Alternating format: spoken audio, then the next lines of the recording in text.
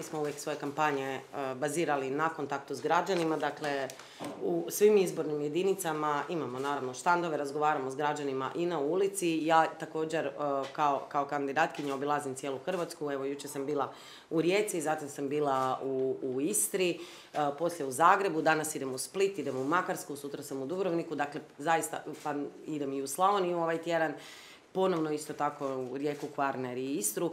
E, to pitanje dakle terena je nama jedno od apsolutno ključnih pitanja, međutim vi znate da mi smo i od prije vrlo aktivni na društvenim mrežama, tako da um, ovo je samo nekakva nadogradnja onoga što inače e, komuniciramo i naravno koristimo i druge alate poput uh, oglašavanja na plakatima, digital oglašavanje i tako dalje. Ono što nemamo, nemamo neke velike reklame na televiziji s obzirom na to da je to izuzetno skup sport, reklo bi se. A i rađe smo puno više uložili zapravo u teren i u tu direktnu komunikaciju s građanima.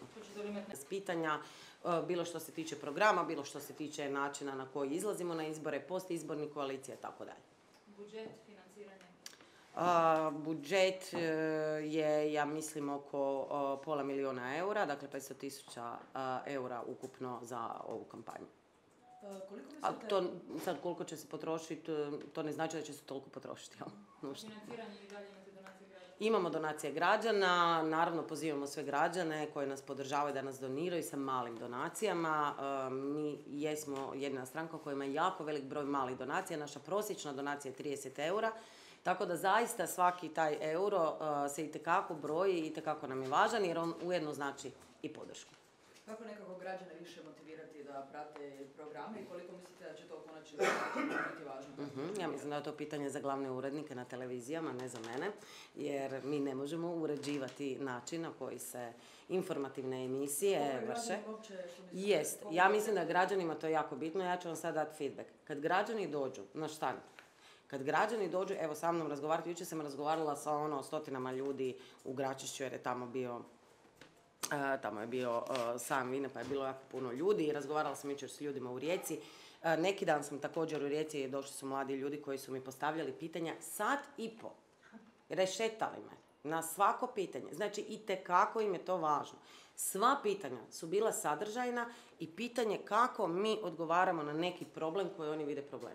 Znači da takve rasprave imamo u Saboru, ja bi bila ono najsretnija zastupnica na svijetu. Znači ljude zanima, pitanje je zašto i politika i mediji ne odgovaraju na tu potrebu. Ja ne znam, evo, ne znam. Uvijek su neka pi- E, ja imam tu vrlo jasan stav kao i cijela naša stranka.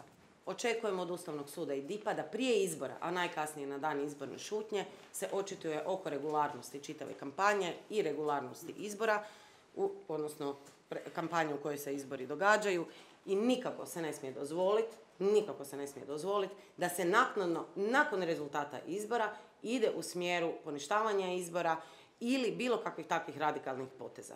Ako nešto ne valja, neka kažu sad ili kak se kaže ono šute zauvijek.